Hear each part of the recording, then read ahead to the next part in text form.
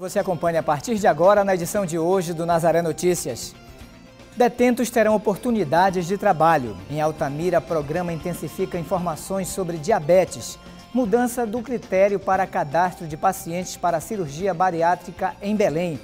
Na última reportagem sobre medicamentos, saiba a diferença entre genérico e remédio de marca. Continuação das obras do EBRT mudam trânsito na Avenida Augusto Montenegro. Praça Brasil é espaço que traz traços modernos da reconstrução urbana na capital paraense. Teatro da Paz está na lista indicativa brasileira de patrimônio mundial. E o bate-papo musical com Neide Bastos. Hoje é sexta-feira, 10 de abril, e o Nazaré Notícias já está no ar.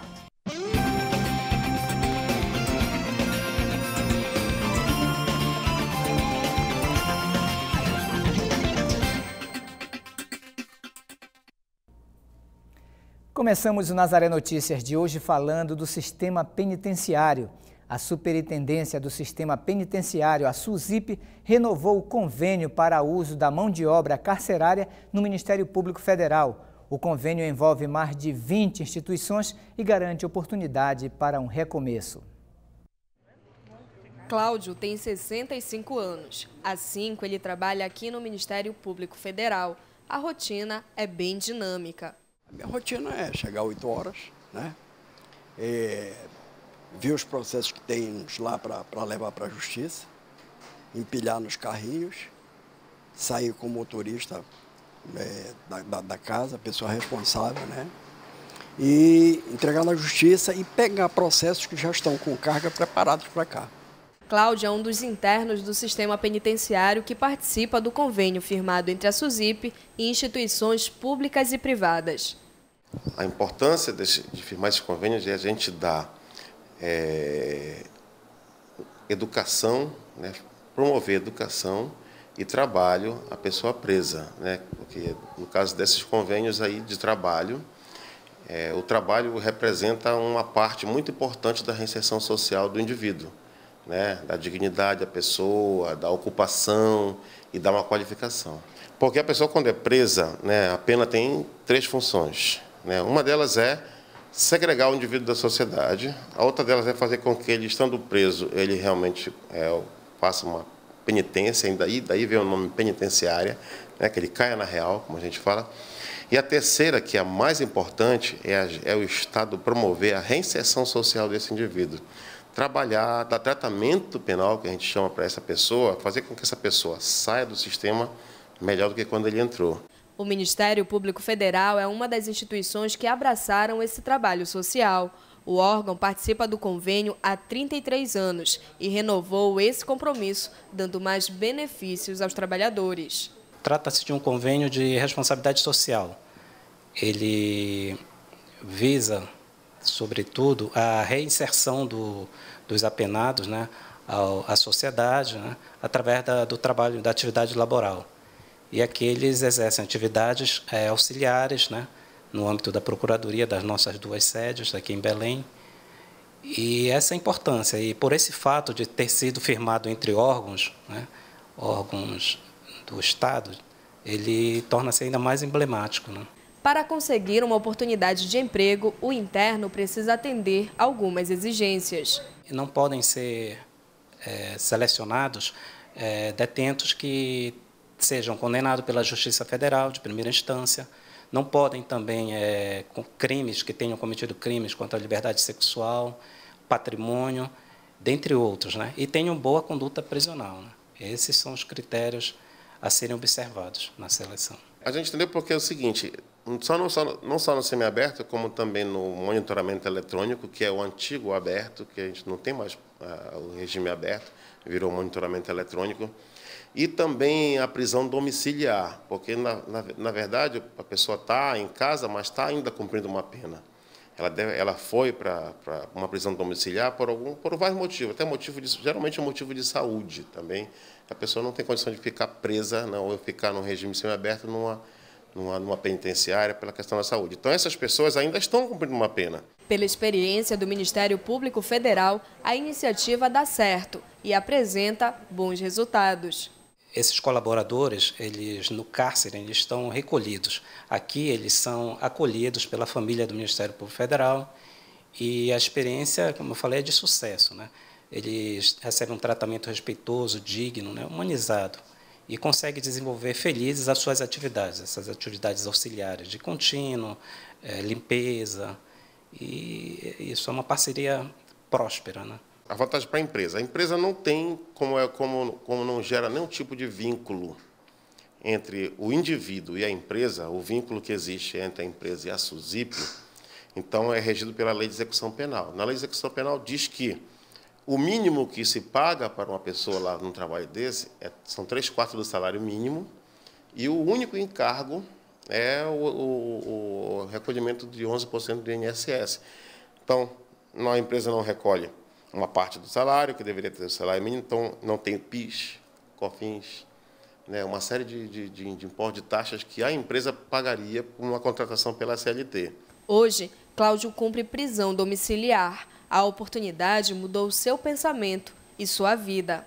Quando você se, se propõe a fazer algo que beneficie não só você, como ajuda também, alavanca a sociedade, ajuda de uma maneira. Eu estou aqui mas eu tenho certeza que eu estou produzindo junto com a turma aí. Quem trabalha com ele reconhece a importância da oportunidade. No entanto, é mais que isso. Reconhece a importância dele para a instituição. Se, se não fosse ele, seria assim, meio, meio complicado, porque assim, ele é uma pessoa de muita confiança e ajuda muito, muito no, a, nós.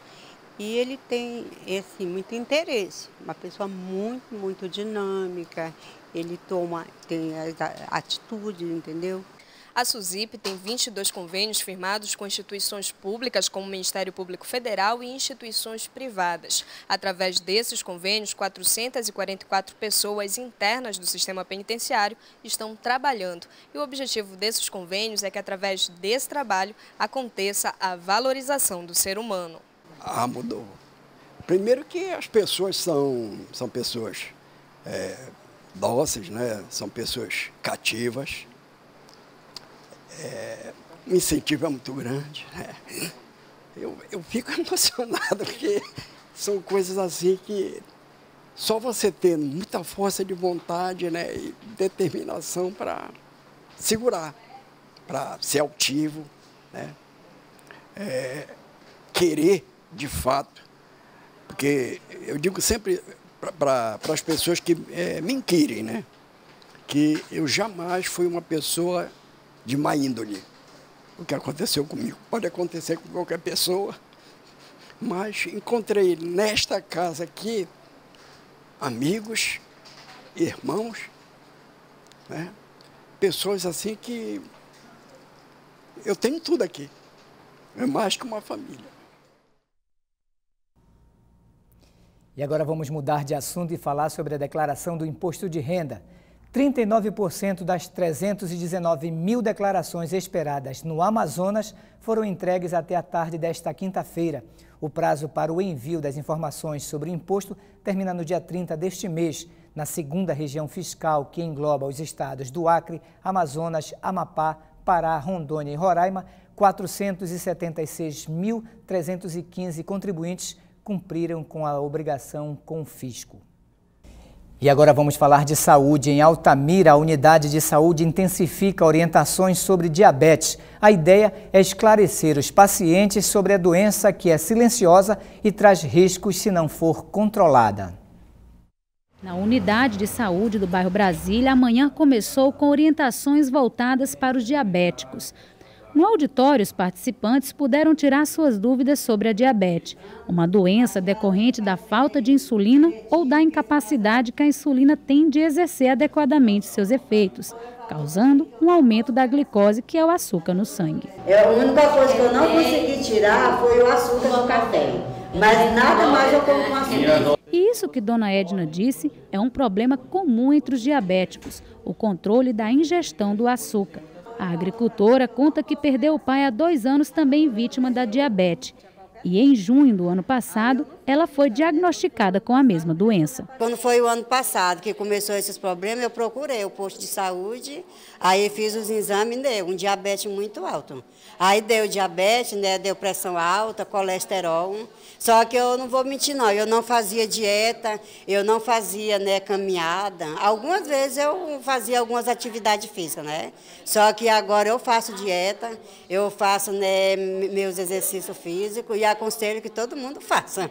A diabetes é uma doença grave e silenciosa que não tem cura, mas quanto mais cedo for tratada e controlada, melhores serão seus resultados. Através da alimentação saudável e da prática de atividade física, a gente pode diminuir esse nível de açúcar no sangue, né? A fisioterapia também ajuda no tratamento da pessoa doente a partir do hábito da prática de atividades físicas. A fisioterapia ela atua tanto no tratamento como na prevenção. Tá? Na prevenção, a gente ministrando palestras, informando como proceder, não comendo açúcar, diminuindo o sal com relação à hipertensão. Tá entendendo? E tanto no tratamento, quando esses pacientes chegam já com a má circulação nos pés e membros inferiores, que é o mais comum. A rodovia PA 252 está interditada nas proximidades do município de Moju, no nordeste do Pará. O bloqueio realizado por manifestantes que pedem a pavimentação do quilômetro 70 da estrada. A via foi fechada por volta das 9 horas desta quinta-feira e, segundo a Polícia Rodoviária Estadual, a interdição causou um congestionamento de 2 quilômetros no sentido Goianésia-Moju. Para amenizar o engarrafamento, os moradores estão liberando a pista por 10 minutos a cada uma hora. Os manifestantes pedem a presença de um representante da Secretaria de Estado de Transportes no local. Os pacientes que pretendem se candidatar à cirurgia bariátrica pela rede pública no Pará devem ficar atentos às mudanças no critério que será adotado pelo Hospital Ofir Loyola aqui em Belém. Caroline Guimarães tem mais informações. O Hospital Ofir Loyola é o único no estado do Pará credenciado pelo Sistema Único de Saúde, o SUS, para fazer a cirurgia bariátrica. Agora, de acordo com uma nova portaria do Ministério da Saúde, a cirurgia só poderá ser feita se o paciente antes tiver passado por um tratamento médico sem sucesso. A medida visa garantir que o paciente só vá ao centro de cirurgia bariátrica se antes tiver passado por uma unidade básica de saúde ou então por um centro de saúde da família. A idade mínima para fazer esse procedimento é de 16 anos. Caroline Guimarães para o Nazaré Notícias e tramita pela Assembleia Legislativa do Pará um projeto de lei que poderá garantir mais comodidade aos idosos e doentes crônicos cadastrados junto à Secretaria Estadual de Saúde. A proposta, aliás, a proposta cria o programa Médico em Casa para evitar que o cidadão precise se deslocar ao posto de saúde e enfrentar filas para conseguir o medicamento que precisa. O uso contínuo do medicamento deve ser disponibilizado ao paciente de forma ininterrupta ou intercalada por prazo indeterminado ou superior a dois anos, englobando os medicamentos genéricos e especializados. E na última reportagem da série sobre o custo dos medicamentos, nossa equipe de reportagem foi tentar entender a diferença entre medicamento genérico e os chamados medicamentos de marca essa certamente é uma dúvida de muita gente desde 1999, quando foi instituída no país a lei do genérico. Cerca de 40% dos medicamentos de referência já possuem um genérico. Há 15 anos, esses remédios entraram de vez no mercado brasileiro. São identificados com a letra G sobre a tarja amarela. Este farmacêutico explica que durante muito tempo se estabeleceu a dúvida sobre a eficácia do genérico.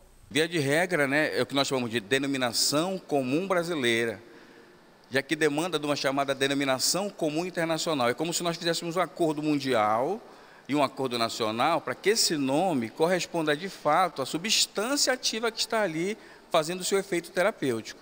Né?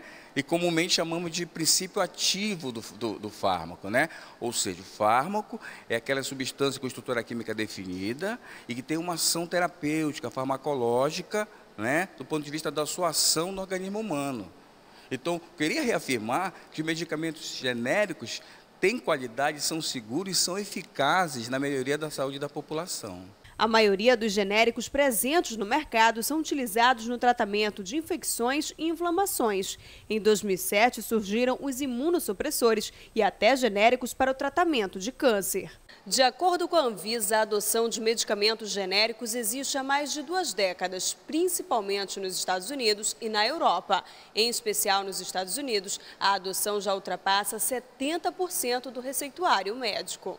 No Brasil, a patente de um medicamento pode durar até 20 anos. Somente após este prazo é possível disponibilizá-lo ao mercado de modo genérico. Criou-se né, uma estrutura de propaganda, de marketing muito forte em torno da, da marca, entendeu? E por tabela, existe toda uma inserção na categoria médica para que eles prescrevam o medicamento de marca, né? garantindo de certa forma que aquele é mais seguro. Né? Então a política de genéricos vem nessa perspectiva de mostrar, olha, uma vez estabelecida a, a, a aspiração de proteção patentária, o governo, uma ação de Estado, está garantindo que a população tenha acesso a medicamento de qualidade segura e eficaz, tal qual o de referência.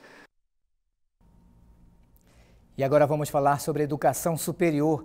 Alunos da Universidade Federal do Acre que estudam no campus Floresta, em Cruzeiro do Sul, a 648 quilômetros da capital, procuraram o Ministério Público Federal nesta quinta-feira para denunciar a falta de intérprete de Libras na instituição. Segundo os acadêmicos, seis alunos são surdos e enfrentam dificuldades para acompanhar as disciplinas ministradas. Eles reivindicam que a UFAC contrate intérpretes da língua brasileira de sinais. E agora vamos falar do clima na Amazônia. Segundo o Departamento de Meteorologia, o período chuvoso na capital paraense irá superar a média dos últimos 30 anos. Uma zona de convergência intertropical que atinge a região metropolitana de Belém vem aumentando a média de chuva na capital e nos municípios do litoral paraense. Segundo a previsão do tempo, a média para os próximos dias será de chuvas intensas. As chuvas continuarão fortes até a segunda quinzena de abril, superando assim a média dos últimos 30 anos nesse período. E agora você acompanha a previsão do tempo para este final de semana aqui na Amazônia.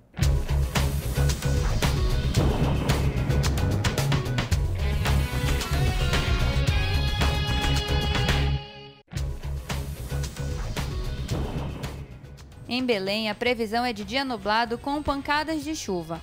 O termômetro marca a temperatura mínima de 23 graus e a máxima de 32 graus. Em Rio Branco, no Acre, o dia será encoberto e com pancadas de chuva isoladas. O termômetro marca a temperatura mínima de 22 graus e a máxima de 32. Em Macapá, no Amapá, o tempo muda de encoberto para nublado com pancadas de chuva. O termômetro marca a temperatura mínima de 24 graus e a máxima de 33 graus.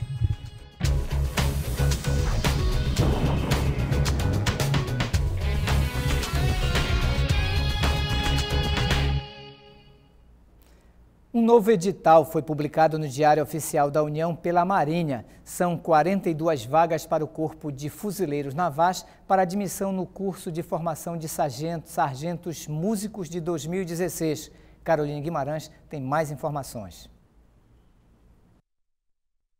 20% das vagas são destinadas a candidatos negros. Também é preciso ter 1,54m de altura ou, no máximo, 2 metros. Haverá prova prática de música, inspeção de saúde, teste de aptidão física, também teste psicológico e teste de escolaridade. As inscrições devem ser feitas no site www.mar.mil.br.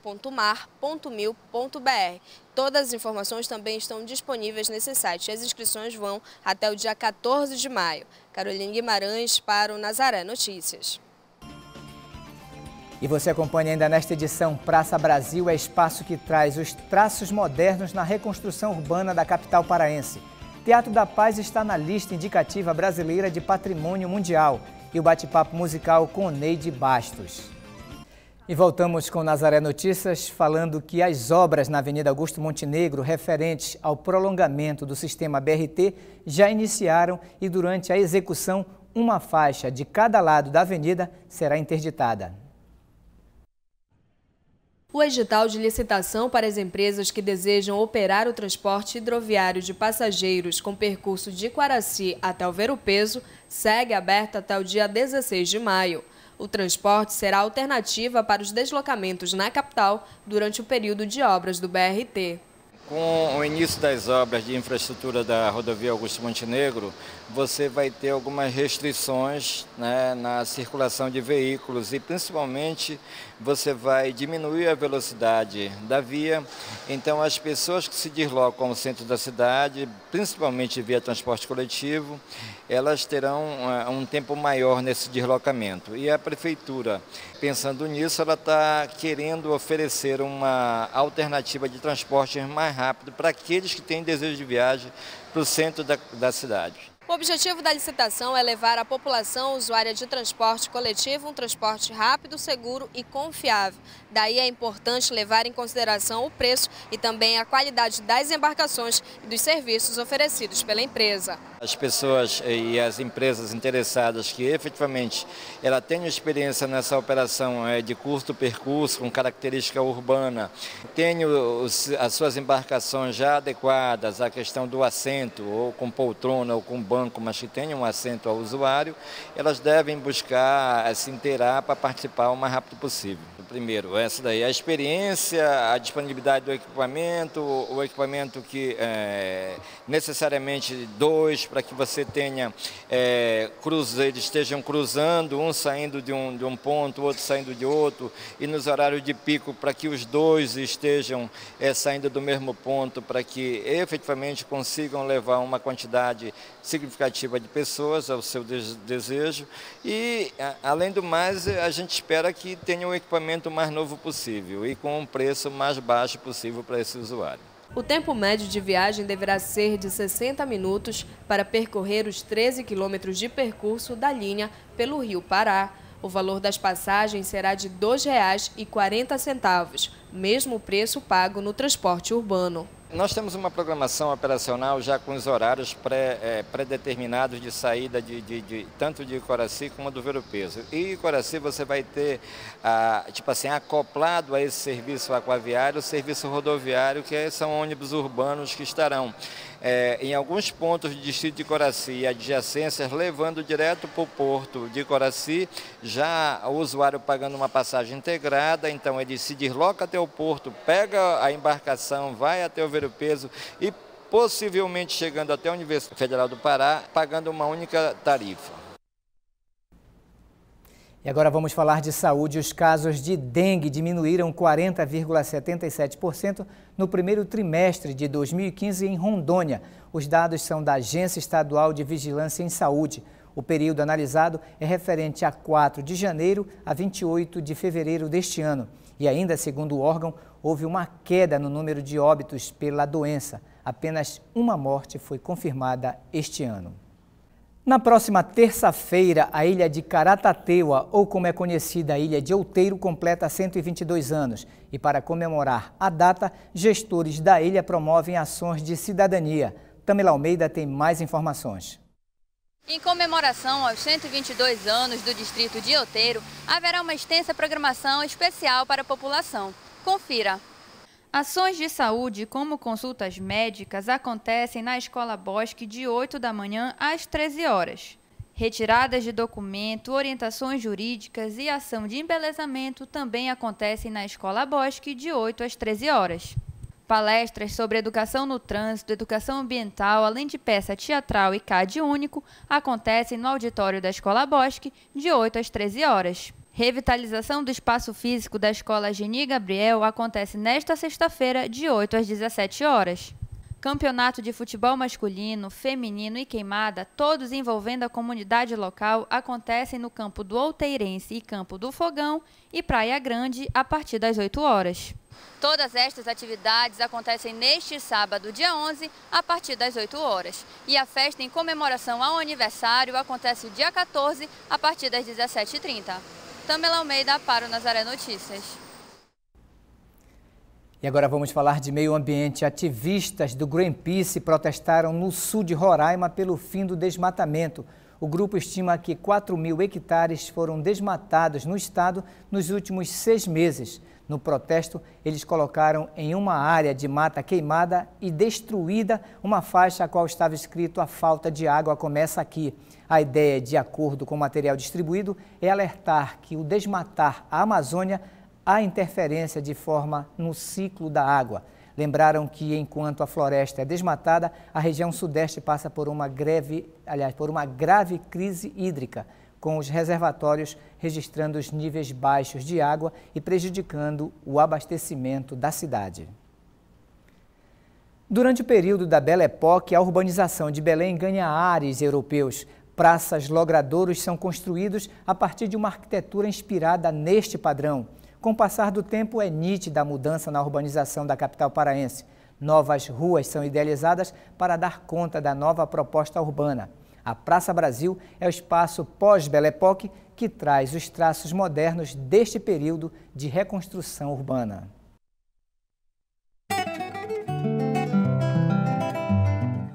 Uma das praças mais novas que existem na cidade de Belém. Cercada por uma bela paisagem verde, ela atrai muitos visitantes e turistas que trafegam pelo bairro do Marizal.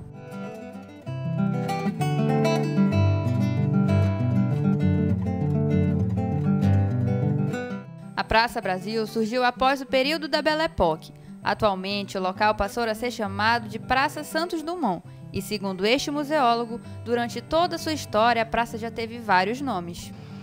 Então, inicialmente, a praça recebeu o nome de Praça do Esquadrão, é uma alusão ao Esquadrão de Cavalaria Militar, onde funciona hoje o Hospital Geral Militar de Belém. Quando da sua inauguração, ela recebeu um importante monumento de dois metros de altura, é, de bronze, que é uma representação da maior expressividade étnica do povo brasileiro, que é o índio. Nesse caso, se fez opção pelo índio Guarani, que é uma representação nacional. Então, a partir de então, ela foi é, denominada de Praça Índio do Brasil. No entanto, anteriormente, ela recebeu a denominação de Praça Santos Dumont, quando se ressignificou a partir do, de uma homenagem aos cinquentenários do, do, do voo, do sucesso do voo do 14 Bis. Então, Praça do Esquadrão, Praça Santos Dumont, Praça Índio do Brasil, Praça Brasil, como hoje atualmente é conhecida, é, trata-se de um importante logradouro é, paisagístico de Belém, é um ponto de memória dos moradores do bairro do Marizal, vizinho dos moradores do bairro do Telégrafo. Local que hoje é de lazer e diversão para Belém, já passou por muitas mudanças. Quando não se encontra mais é, uma, uma, área de areia onde havia a prática do, do, do, esporte, do futebol, hoje nós temos uma academia é, muito bem conservada, nós temos uma, uma venda regular de guaraná, de água de coco, então é uma praça que tem um, uma, uma, apresenta uma mudança positiva, mudanças consideradas e que preservam de qualquer forma o seu aspecto clássico, né, dos seus canteiros e do, do monumento do, do índio do Brasil. A Praça Santos Dumont, ou Praça Brasil, como é conhecida popularmente, se caracteriza pela grande presença de visitantes.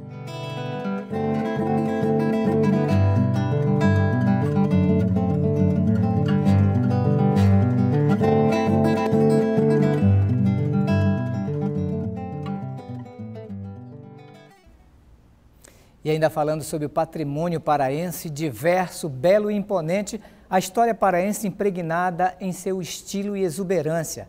O Teatro da Paz pode ser incluído pela Unesco na lista indicativa brasileira de patrimônio mundial. Conheça nessa reportagem a história da primeira casa de espetáculo construída na Amazônia.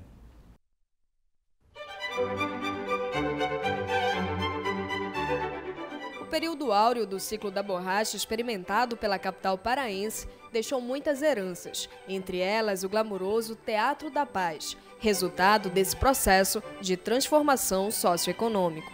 O teatro nasce para satisfazer o anseio da sociedade da época, recebendo muitos espetáculos líricos. Foi construído por necessidade e com a vocação explícita de ser um teatro de ópera, ou seja, um teatro voltado para a cena lírica E depois o teatro foi se alongando e foi albergando outros tipos de espetáculo, inclusive de teatro, que foi o primeiro gênero que se, associou a essa vocação do teatro. E hoje o teatro recebe artistas populares, os grandes grandes intérpretes paraenses, grandes, todos eles já se exibiram aqui e fazem isso de vez em quando no teatro.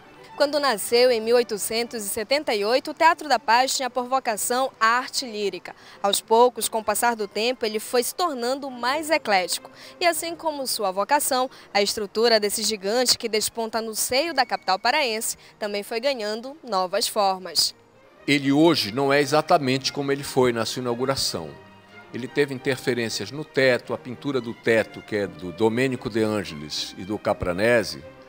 Esse teto ele foi pintado é, já nos anos 80, perto dos anos 90 do século XIX. E, outras interferências no teatro foram existindo, principalmente como ele é um teatro clássico italiano, embaixo ele até se parece um pouco com o Teatro Scala de Milão, que é o teatro mais famoso do mundo. Ele foi se afrancesando porque o gosto francês era muito forte. As mudanças também acompanham o público do teatro, oportunizando o contato de gerações com o erudito e o popular. O Teatro da Paz hoje, ele é um teatro aberto, é claro, ele recebe duas vezes por mês para concertos para a população da sua orquestra sinfônica. O Teatro da Paz hoje tem uma orquestra sinfônica criada em 96 pelo secretário de Cultura, Paulo Chaves, e desde daí ela dá 12 espetáculos por mês, todos de graça, para difundir a cultura da música e além de receber escolas públicas para assistir ensaios ou peças explicativas aqui. Assim mesmo, a Jazz Band, que tem uma vertente mais popular, também dá um concerto por mês de graça. Isso é feito com constância durante todo até o mês de dezembro. A construção do teatro começou em julho de 1869 com uma arquitetura neoclássica. Foi inaugurado como Nossa Senhora da Paz, referência ao final da Guerra do Paraguai, e teve seu nome reduzido para Teatro da Paz dois dias após a inauguração. Um tesouro localizado no centro comercial de Belém que merece todo o zelo um senhor de 137 anos que tem que ter zelo, amor por ele, conservação, intensa e uma coisa quase que obstinada, para que ele seja a joia da coroa e o orgulho da cidade de Belém.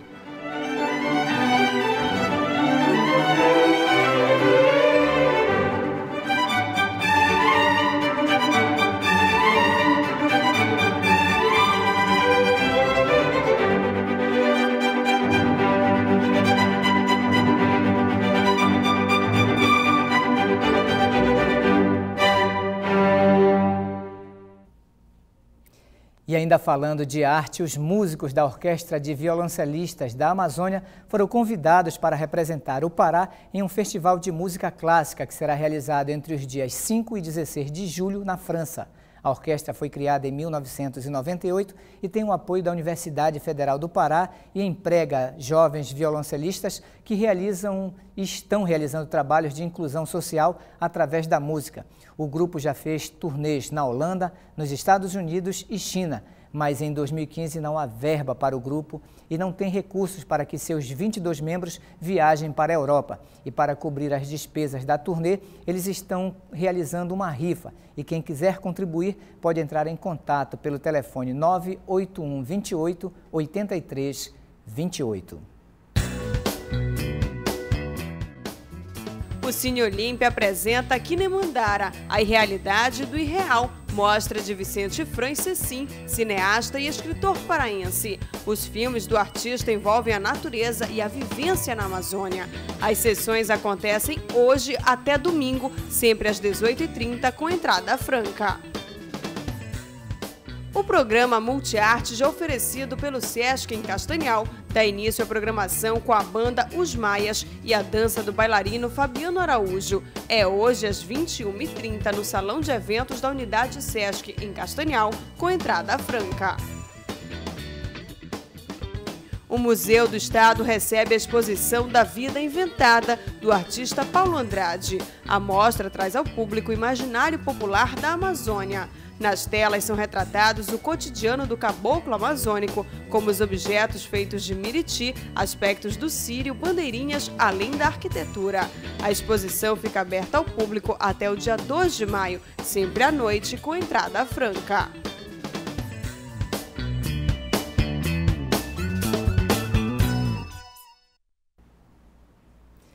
A diversidade rítmica amazônica está presente na musicalidade da cantora Oneides Bastos. Ela é a nossa convidada do bate-papo musical desta sexta-feira.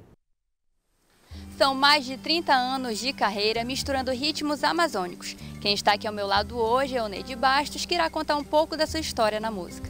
Oneide, como é que começou essa carreira na música? Bom, começa como quase todo mundo começa, né? Eu já vi uma influência muito grande dos meus pais, que tocavam na noite e eram metaleiros lá no localzinho onde eu nasci. Não tive assim muito contato com essa, essa história deles, fui saber depois. E quando criança, aqui já, já em Macapá, eu participava do coral infantil, depois coral é, de, de adolescente.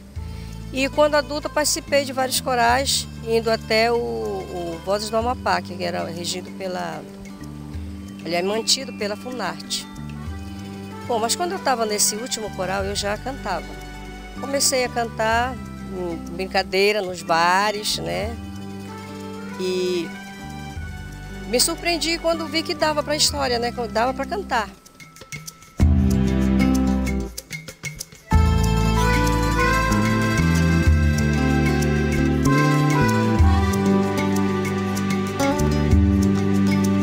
Elegante palmeira,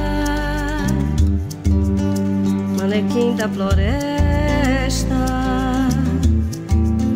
Não tens par nem touceira, vive só, mas em festa. E esse segundo CD agora, que se chama Quando, se, é, Quando Bate o Tambor, ele foi indicado, né, para o melhor prêmio de música brasileira. Como é que foi essa indicação? Bom, esse CD aqui, esse CD, ele ganhou ano passado uma menção honrosa no, no site Embrulhador. Ficou entre os 100, 100 melhores álbuns do, do, da música brasileira. E esse ano, para minha surpresa, ele foi indicado para o 26º prêmio, né? Foi assim, eu não sabia a, a extensão da a, a proporção da, da, da coisa, sabe?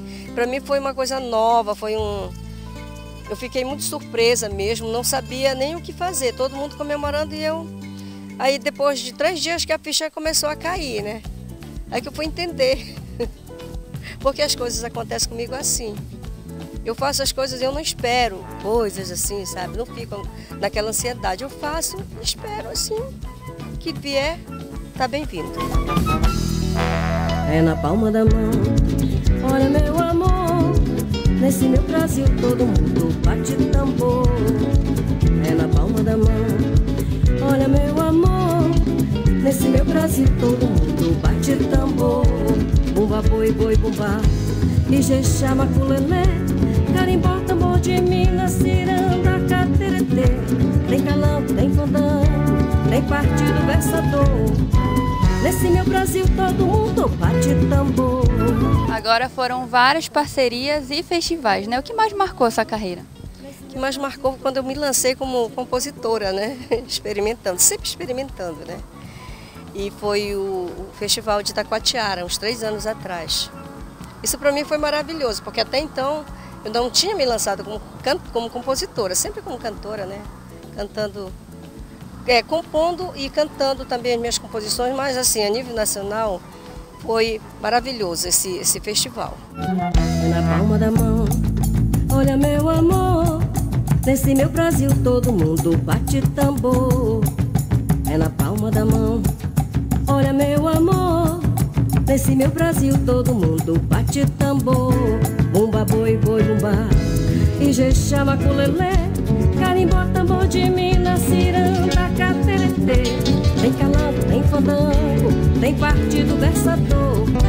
Nesse meu Brasil todo mundo bate tambor. E agora a senhora também participou de shows internacionais, né? Como é que foi essa, essa experiência? Bom, esses shows internacionais que eu estou falando são esses lá da Guiana Francesa, porque na época a Guiana Francesa era quem conseguia ir lá, ainda mais eu fui com, já com oito contratos assinados. E então foram esses shows que eu participei, assim, a nível internacional. E eu quero agradecer também o povo do Pará, agradecer a TV Nazaré, que está me concedendo essa entrevista, né? e me colocando à disposição sempre que quiserem. Eu estou, estando aqui no Pará, vou estar sempre com vocês. Então, obrigada. E se você gostou deste bate-papo e das matérias exibidas hoje no jornal, é só acessar o portal Nazaré ou a nossa página no Facebook. Um excelente final de semana a todos e até segunda-feira.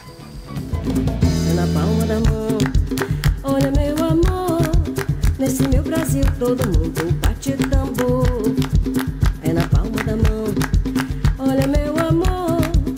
Nesse meu Brasil todo mundo bate tambor